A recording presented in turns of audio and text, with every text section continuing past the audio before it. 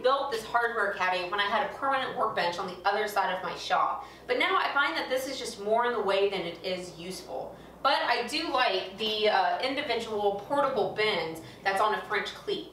So I think what I want to do is use the same concept, take the bins, make some more, and then utilize the inside of this closet door here. This is a solid core door, and as you can see on this one, I've built a shelving unit that is loaded down, and the door does fine. So this on here, let's go. So the first thing I did was grab a bin and figure out where on the door I could place it so that I could still see inside of it. Then I also took measurements of the door so that I could figure out how big or small to make the, the bins so that I could utilize as most space on the door as possible. On this small size, I was able to fit five across.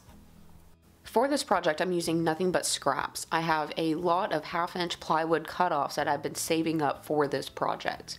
And this project is mainly the bins, which is made up of a ton of repetitive small pieces. So the process kind of repeated itself where I made strips of the table saw, then took it over to the miter saw with a stop block and cut them to size. I started off by making the bottoms, which has a 45 degree angle on it. I set up a stop block at the miter saw and started cutting all of the bottoms to size. Then I repeated the process by cutting more strips to make up the side pieces. Took it back to the miter, new, new setup with the stop block, and cut them to size. The side pieces have two 45 degree angle cuts on them. And I used an old piece to trace these lines out, but you could just find the midpoint of the piece and use a speed square to draw the 45 degree angles. And I grabbed about six and taped them all together. Then I took them over to the bandsaw and cut them out. This way I could undo them make, and then make new bundles of about six pieces with this template piece of sorts taped onto the front.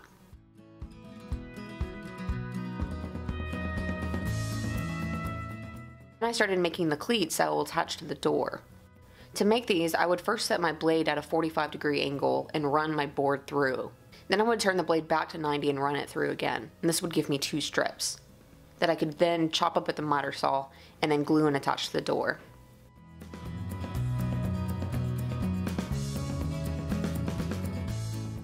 To make attaching these cleats easier, I first figured out the distance I needed them apart, then cut a spacer to that size. And then it was on to the very tedious task of actually assembling the bins. I used glue and brad nails for this. And I started off by attaching the two sides to the bottom, then the front, and then the back. I would assemble a whole bunch of these, and then switch out my nail length and attach a 45 degree cleat to the back, to where then I would be able to go and just place them on the door. So, silly mistake, uh, especially considering I did something on that door and I compensated for it. I forgot to compensate for this uh, door jamb piece. So whenever I'm trying to shut the door, this piece is running into the cleats and won't allow it to, to, to shut. So I should have set these back by half an inch. Forgot to, so now uh, I'm gonna come in with a multi-tool and just nick off half an inch on each one of these. It's not hard, it's just frustrating overlooking something so simple. It's part of it. The material I'm using, it happens to be the same depth as that trim piece. So I use that to go through and quickly mark a half an inch on all of the uh, cleats. Then I use the multi-tool to just nick off the ends.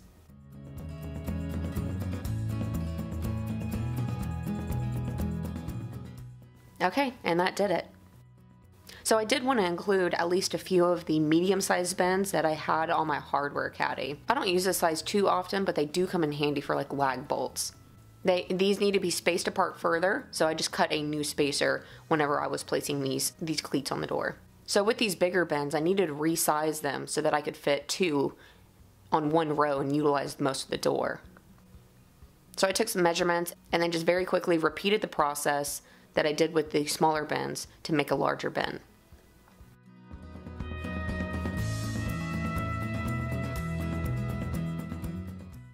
And these are really handy for the bigger, bulkier items that I want to store, like my paint items or all of my accessory of hooks. And then I started loading down all of the smaller bins.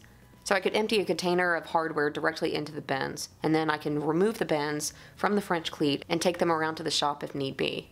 Or I can simply grab a few out and leave it hanging on the door.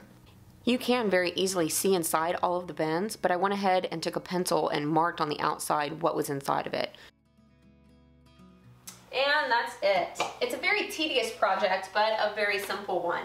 I really like how these bins are just, you can remove them, take them around the shop, and then simply put them back. Now I do plan on building more of these smaller ones because in my opinion it's just the best size for that type of hardware that I store. But I ran out of uh, half inch plywood. So what I'm going to do is wait until I have more scraps accumulated and then build some more. So what I'll do is I'll end up moving these down and then just filling up the rest of the door I think with these, these smaller bins. Now I put this on the inside of a closet door essentially, but you could also put it on the back of your shop door or even alongside of a wall. So if you do want to build some of these bins, I have a free diagram of all three sizes on my website and I've left you a link in the description of the video. Also, if you want to build the rolling around caddy that I just got rid of, I've also linked that video in the description if you're interested. Um, shop's a little bit more organized, so of course I'm a happy camper. I hope that you enjoyed the video, and I will see you next time.